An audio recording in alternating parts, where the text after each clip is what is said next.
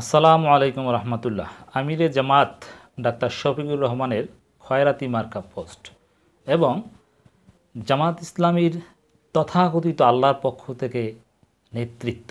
এর মানে আল্লাহর পক্ষ থেকে নেতৃত্ব না, এটা হচ্ছে একটা ভাওতাবাজি, মানুষকে বোকা বানানো। এটাই হচ্ছে ধর্মীয় অনুভূতি ব্যবহার করে রাজনীতি করা।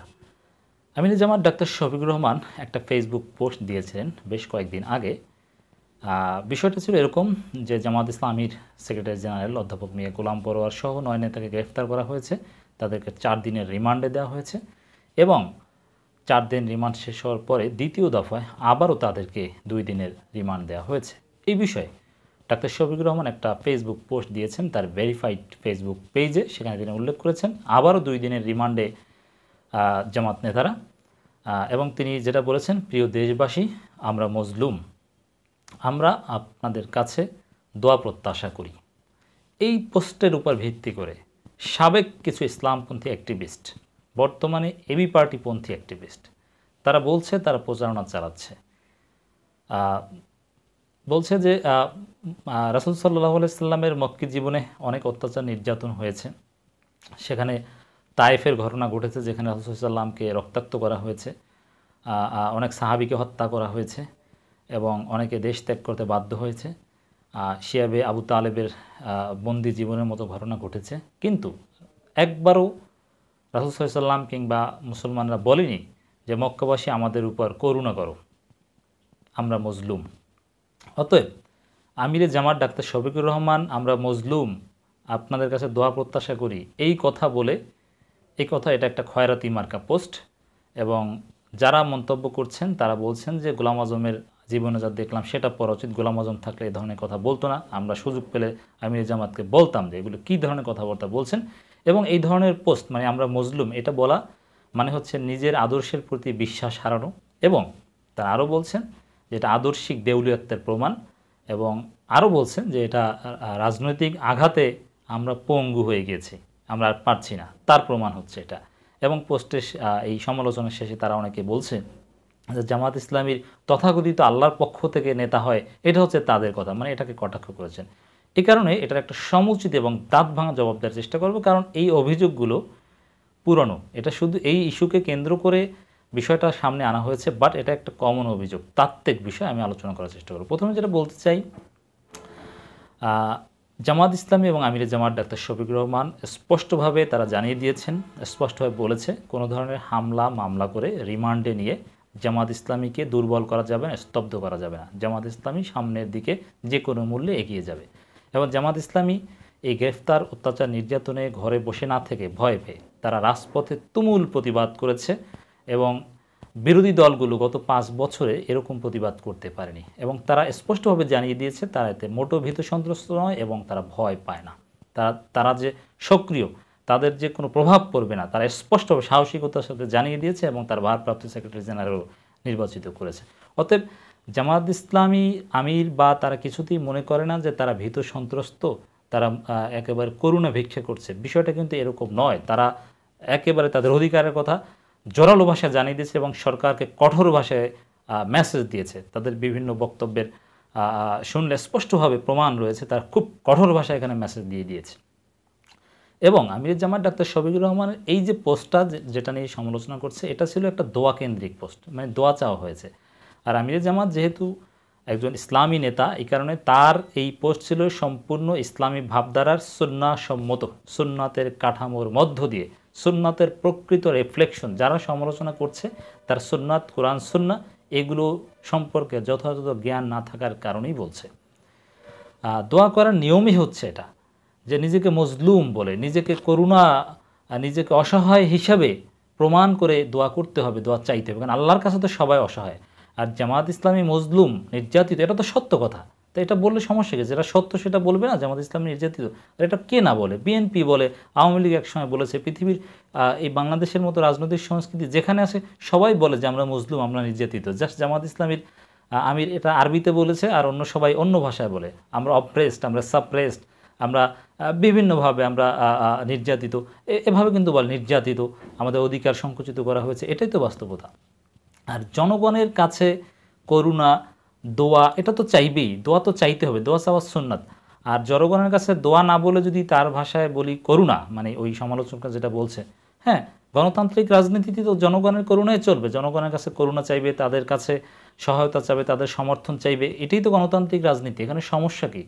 আর দোয়া চাওয়ার ক্ষেত্রে মূলত বিষয়টা তো এরকম, নিজেদেরকে মজলুম হিসেবে উপস্থাপন করে দোয়া চাওয়া। এমনকি আমরা যে একটা কমন দোয়া করি, রব্বানা জলামনা আং ফুসানা ওয়াইল্লাম তাকে ফিরলানা ও তারা হামনালানা কুন্না মিনাল খোয়াসিরিন তো এখানে রব্বানা জলামনা এই যে জুলুম, এর মানে আমাদের উপর জুলুম করেছি।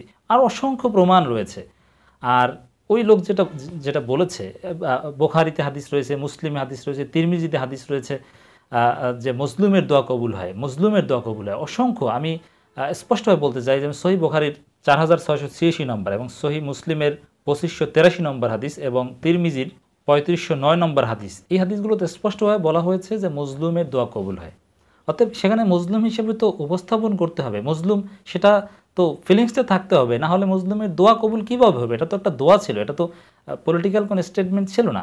একজন ইসলামী নেতা, সে পলিটিক্যাল অ্যাক্টিভিজম যেরকম করবে অ্যাট দি সেম টাইম আল্লাহর কাছে দোয়া করবে, জনগণের কাছে দোয়া চাইবে। এটাই তো সুন্নাতের বাস্তব রিফ্লেকশন অতএব এখানে সমস্যার কিছু নেই। আর রাসুল সাল্লাম কিংবা মুসলিমরা মক্কে জীবনে মক্কাবাসীর কাছে করুণা চাননি না। মক্কাবাসীর কাছে করুণা এখানে আমিরে জামায়াতও চাননি, বাংলাদেশিদের কাছে। এখানে দোয়া চেয়েছেন। আর, করুণা আল্লাহ রাসুল সাল্লাম নিজে সাহাবিরা চেয়েছেন। এটা ওই লোক জানে না বলে বলেছে। হিজরত যে করেছে, মদিনাবাসীদের কাছে করুণা চেয়েছে যে আমাদেরকে আশ্রয় দেন। তারা আশ্রয় দিয়েছে।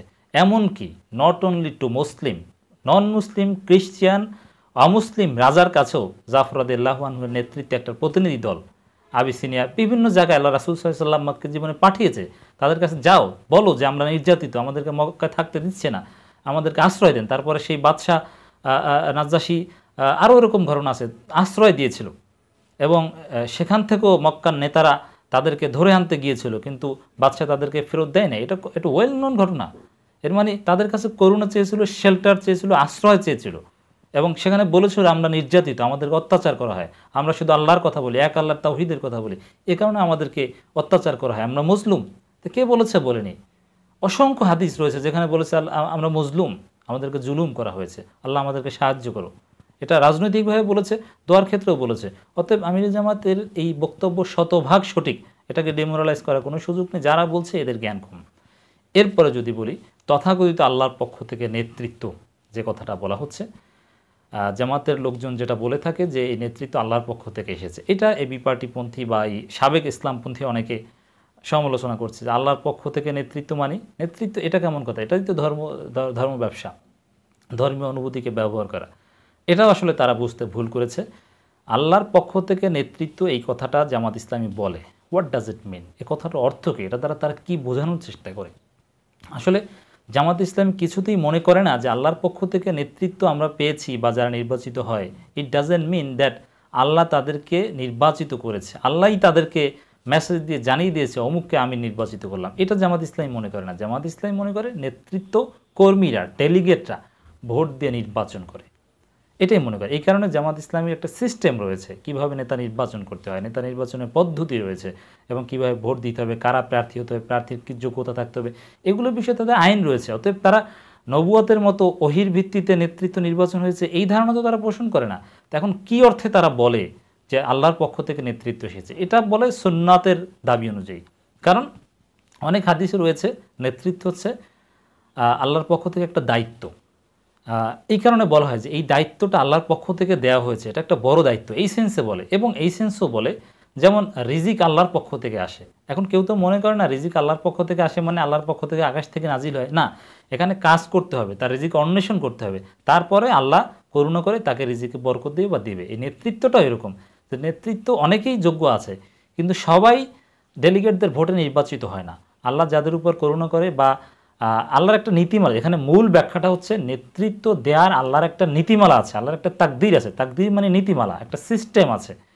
ওই সিস্টেম অনুযায়ী নেতৃত্ব নির্বাচিত হয় বলেই, আল্লাহর সিস্টেম অনুযায়ী নেতৃত্ব নির্বাচিত হয় বলেই কথা জামাত ইসলামীর নেতারা বলে যে আল্লাহর পক্ষ থেকে নেতৃত্ব। আর নেতৃত্ব নির্বাচন হওয়ার আল্লাহর তাকদির বা আল্লাহর সিস্টেম হচ্ছে দুনিয়াবী যোগ্যতায় যিনি এগিয়ে তিনি নেতা হবেন।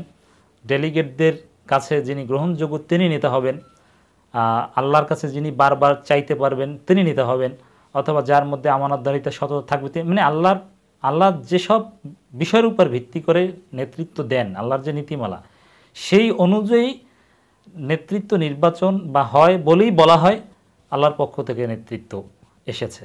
তো এটা অন্যভাবে কোনো নেয়ার কারণ, কারণে এমনকি আওয়ামী লীগের নেতৃত্ব, বিএনপির নেতৃত্ব বাংলাদেশের নেতৃত্ব, এগুলো আল্লাহর পক্ষ থেকে আসে। এবি পার্টির নেতৃত্ব আল্লাহর পক্ষ থেকে আসে। এর মানে হচ্ছে আল্লাহর সিস্টেম অনুযায়ী আসে।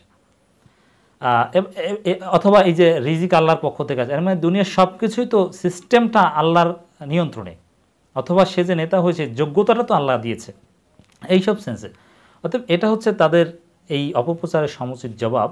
যেভাবে জামাত ইসলামের নেতৃত্ব আল্লাহর পক্ষ থেকে আসে। এখানে Awami League, BNP AB party Jamaat Islami সবার নেতৃত্বে আল্লাহর পক্ষ থেকে আসে। এসব অপপ্রচার চালিয়ে কোনো লাভ নেই। আমি জামাত ডাক্তার শফিকুর রহমান একজন যোগ্য লোক, তার ইসলামী জ্ঞান যথেষ্ট সমৃদ্ধ, তিনি বেফাস কথাবার্তা বলেন না, তার কথার বিরুদ্ধে এরকম প্রচারণা চালিয়ে কোনো লাভ নেই। এর সমুচিত জবাব দেওয়ার জন্য আমরা প্রস্তুত আছি।